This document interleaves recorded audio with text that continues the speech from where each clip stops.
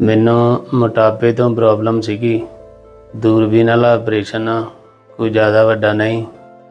ਤੇ ਉਹਦੇ ਨਾਲ ਮੇਰਾ ਸਵਾ ਕੁ ਮਹੀਨੇ ਦੇ ਵਿੱਚ 15 ਤੋਂ 15.5 ਕਿਲੋ weight ਘਟ ਗਿਆ।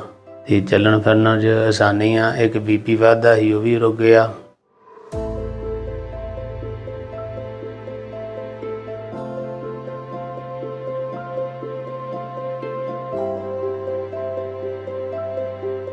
ਮੈਂ ਬਲਦੇਵ ਸਿੰਘ, ਪਿੰਡ ਪਿਪਲੀ, ਤਹਿਸੀਲ ਸ਼ਾਹਕੋਟ ਜ਼ਿਲ੍ਹਾ ਜਲੰਧਰ ਦੇ ਰਹਿਣ ਵਾਲਾ।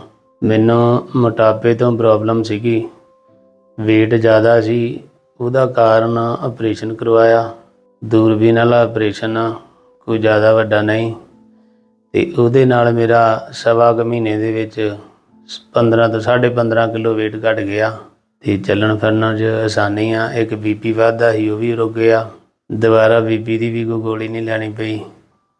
ਤੇ ਉਹਦੇ ਨਾਲ ਮੈਂ ਹੁਣ ਬਿਲਕੁਲ ਠੀਕ ਠਾਕ ਹਾਂ। ਜੇ ਕਿਸੇ ਨੂੰ ਕੋਈ ਇਹੋ ਜਿਹੀ ਮੋਟਾਪੇ ਤੋਂ ਪਰੇਸ਼ਾਨੀ ਹੋਵੇ ਤੇ ਸਟਾਰ ਹਸਪਤਾਲ ਆਓ, ਆ ਕੇ ਡਾਕਟਰ ਜਸਮੀਤ ਸਿੰਘ ਨਾਲ ਮਿਲੋ ਤੇ ਆਪਣਾ weight ਘਟਾਉਣ ਵਾਲਾ ਇਹਨਾਂ ਤੋਂ ਆਪਰੇਸ਼ਨ ਕਰਵਾਓ ਜੀ। ਇਹ ਦੂਰਬੀਨ ਵਾਲਾ ਆਪਰੇਸ਼ਨ ਕਰਦੇ ਆ ਤੇ ਦੋ ਤਿੰਨ ਦਿਨ ਤੋਂ ਬਾਅਦ ਬੰਦਾ ਆਪਣੇ ਆਪ ਵਧੀਆ ਉੱਠ ਬੈਠ ਸਕਦਾ, ਚੱਲ ਫਿਰ ਸਕਦਾ, ਕੋਈ ਜ਼ਿਆਦੀ ਵੱਡੀ ਪਰੇਸ਼ਾਨੀ ਨਹੀਂ ਗਈ ਬਿਲਕੁਲ ਸਹੀ ਆ ਕੰਮ ਇਹ।